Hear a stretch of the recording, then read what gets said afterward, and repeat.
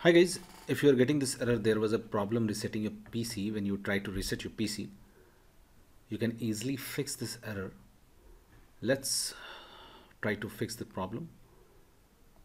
What you have to do, uh, just close this setting panel where you want to, uh, you, where you want to restart your PC. Now just press shift key from your keyboard. Okay. Now what you have to do, let's move to the first method. Just search cmd in the windows 10 search box okay? And run as administrator okay? Now when this command prompt windows opens up we have to type two commands. These two commands one by one and hit enter okay? So first we'll write reagentc disable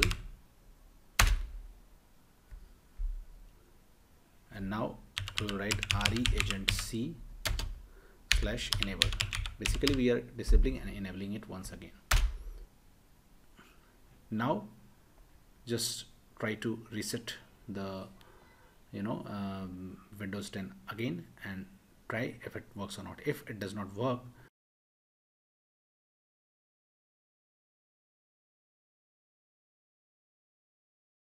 first of all uh, go to Google and search Windows 10 installation media. Okay. Installation media ISO okay. Hit enter. And now you will uh, go to this microsoft.com website. Okay. Make sure this is microsoft.com website. And now click on download tool now. Okay now it is getting downloaded. Now this media creation tool.exe has been downloaded on your computer. Just click on it to open it.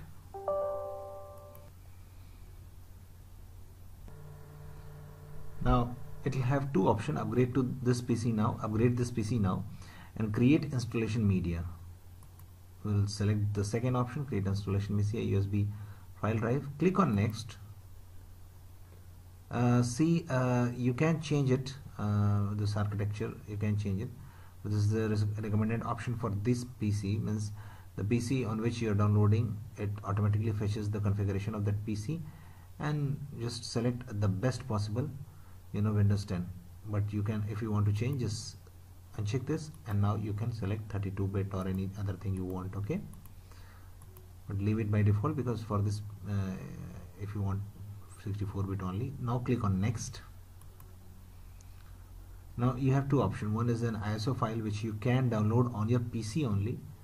So you can download this ISO file on this PC currently uh, on which you're doing this process or a USB flash drive in which you can create installation media. So we want the first option. Now click on next. Now here we'll select this now here is our USB drive. Make make sure that it is completely formatted and empty okay? No file is in this USB now we have selected E. Click on next. So guys your USB flash drive is ready. This is E uh, USB flash uh, drive. Uh, and now you can click on finish. And now it will finish the drive. And now you can take out of your USB this has become your installation bootable USB disk.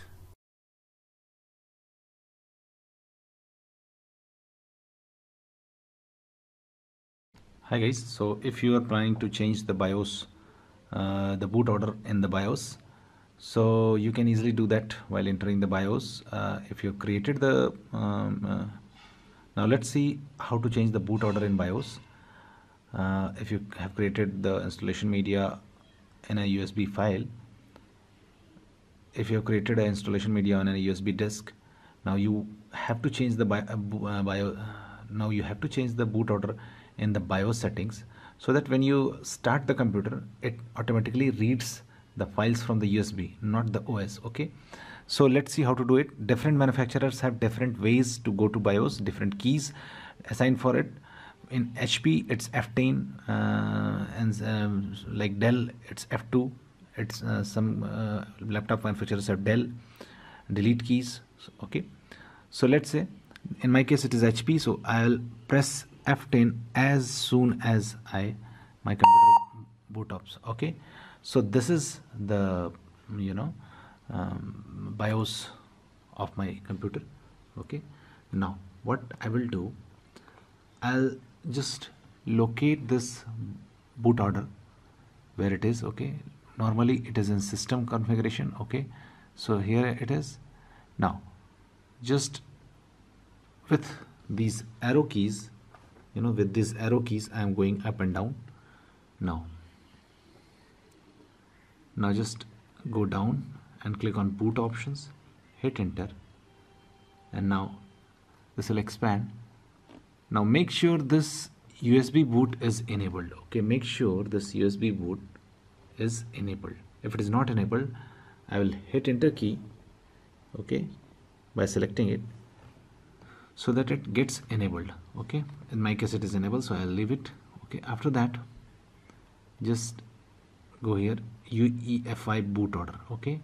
So first one is OS boot manager. This is the default because uh, your OS boots like this but you have to USB diskette on you know key USB hard disk okay?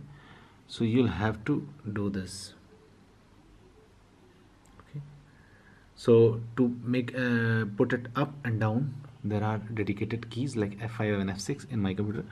So I'll you know press F5 to push sorry it's going down. So let's say I'll press F6 to move it up. Okay and now here it is. Okay so I have changed the boot order.